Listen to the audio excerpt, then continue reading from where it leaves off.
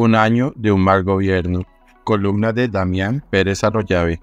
No quisiera empezar escribiendo una columna sobre mi país con ese titular. En realidad quisiera estar viviendo lo de 20 años atrás, donde se hablaba que había iniciado la recuperación de Colombia. Así lo fue, efectivamente con aciertos, errores, pero con amor por nuestro país existieron grandes avances. Hoy parece que Colombia lo gobernará quien no lo ama. Todos los logros empiezan a desaparecer y no regresan a una oscura noche que como país habíamos superado. La seguridad se ha deteriorado notablemente. Son 19 departamentos los que hoy sufren asedios por parte de las guerrillas de las FARC y el ELN. Las masacres este año han incrementado. El asesinato de líderes sociales sigue latente. La cocaína sigue financiando los grupos terroristas mientras que su incautación disminuye. Volvieron los atentados a la infraestructura petrolera la inseguridad, el sicariato, el peteo y el secuestro aumentaron.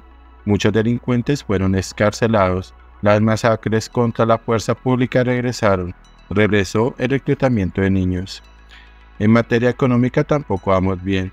La gasolina ya ajusta un incremento de más de 5 mil pesos por galón. La inflación es una de las más altas del mundo superando la cifra de los dos dígitos. La construcción de vivienda nueva disminuye notablemente, en especial la subsidiada por el gobierno.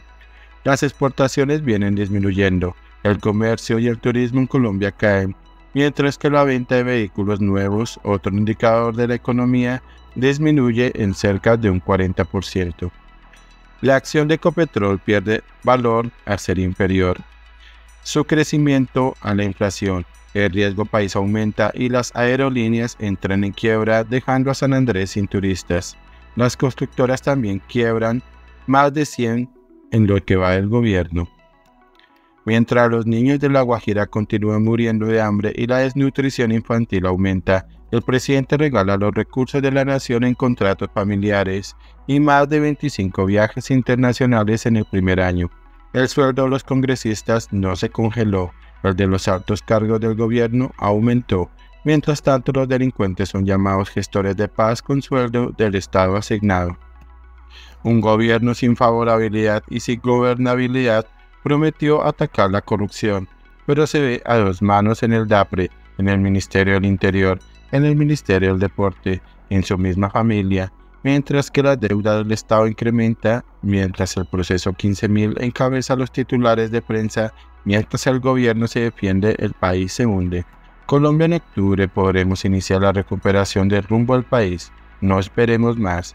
Hagan de las elecciones locales un plebiscito donde les mandemos un mensaje contundente al gobierno que no va por buen camino.